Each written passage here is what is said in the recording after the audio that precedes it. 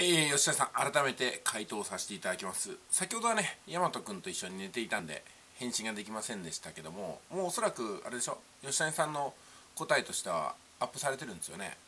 えー、っとねまあ私これ聞かれてどう思うかっていうと数字が伸びてないっていう相談じゃないですか。そんな吉谷さんが数字上げてあげればいいと思うんですよ。あの自分のメディアでどんどん紹介すればそれは数字のねあの1つや2つ伸びると思うんですよね。でもっと言ったらこのね相談者の人アドバンスコースの人が「吉谷さん」と「アクセスが伸びないんで協力してもらえますか？対談とかやってもらえないでしょうか?」っていうふうに言えないんですかね。いやそういうことを要求する権利はあると思うしそれがだからやり尽くしてないってことだと思うんですよ。要するに乗っかれってことですよ。だから今回もこういう質問が来て吉谷さんが「こんな質問が来たんですよ。久保哲はどう答える?」みたいなコンテンツ1個作ったわけじゃないですか。そしたらあどんな人なんだろう？っていうふうに興味持つ人が何人か出てくるんですよね。でその方の例えば YouTube なら YouTube の動画 URL が動画概要欄に貼ってあればいいわけでしょ？貼ってないですね。うん。私だったらね同じような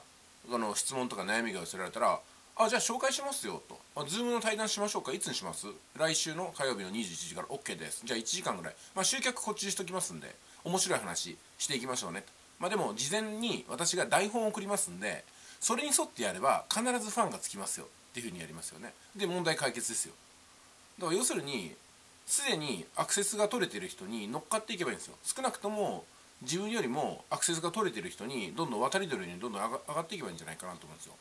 で私の場合は即価塾に参加してる方はいくらでも何回でも私のプロデュースでどんどんどんどん紹介するんでチャンネル登録増えるし再生数増えますよっていうことはね申し上げてますし実際に、えー、と先月えー、私のね速稼塾に来ていただいてその時はチャンネル登録がね80人ぐらいだった方なんですけども、まあ、1ヶ月で400人突破しましたよね。これだったらいいでしょ1ヶ月で300人ぐらい私がどんどん紹介することによって速稼塾の熟成とか私の動画の視聴者さんのその数字をどんどんねシェアしていくっていう形です。でそういうふうにして私の力で数字が伸びた方が速稼塾の周りを固めていれば私がねじゃあ今度はこの方の、あのちょっと動画見てもらいます？この方についてちょっと関心を寄せてもらいます？って言ったらじゃあ恩返しするつもりでって感じでどんどんその方のこともねティーアップしたりとか見たりとか拡散したりとかね。それこそ速稼塾の中にはねワントゥワン動画っていうのが染みついてるんで何々さん入塾おめでとうございますみたいな動画を作ってくれる人も何人もいたりとか何々さん誕生日おめでとうございますみたいなね生姜動画を作ったりとかねいるわけですよ。だからそういうのでどんどん私はあの先頭を切ってね私がななんでねあのまあ、どういう意味で背中を見せるかっていうとこういうふうにして誰かのアクセスにちょっと協力しましょうよ。お互いに YouTube 盛り上げ合いましょうよ。っていう形なんですよ。でこれはね YouTube のアルゴリズム的にも誰かを紹介する動画そして紹介された人が今度は紹介してくれた自分を相互紹介するみたいな動画っていうのはこれはかなりねあのー、なんですかねまあエンゲージメントが高いんじゃないかなと思ってるんですよ。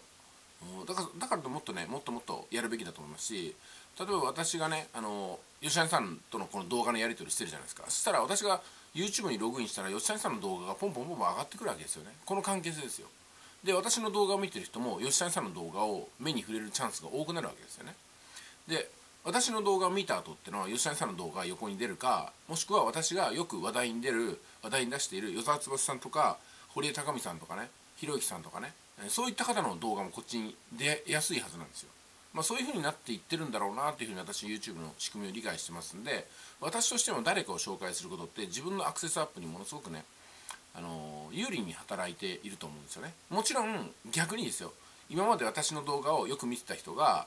あの別の方をね私が紹介することによって散っていくっていうリスクもあるんですけどもそんな細かいことは気にしないですよ私はね。それこそね私のアクセスがゼロになろうがどうしようがマイナスマイナスはないけどねなくなろうがあの私のティーアップによってアクセスが伸びる方がいるんだったらそっちを私は優先したいと思いますのでただし速稼塾塾生ですよ。速稼塾に入ってきてくださった方もしくはアクセスを取りたいがゆえに、えー、速稼塾に入ってきてくださる方大歓迎ですよ。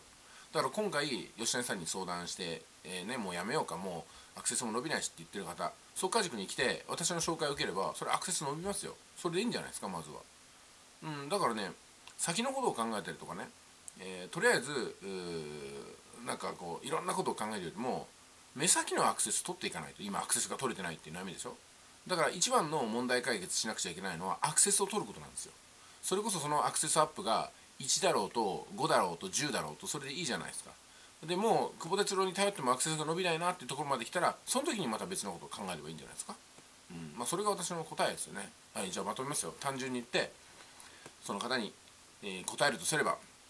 なんで吉谷さんにアクセスアップお願いしないんですか？なんで速稼塾に来て久保さんズーム対談してアクセスをちょっと上げてくださいよって言ってくれないんですか？私のズーム対談はねやっぱり少なくとも20人多い時には30人もしくは70人80人の視聴者さんが今までの実績としてはいます。で平均値で100から400のチャンネル登録が増えてます。今のところ私のズーム対談でね。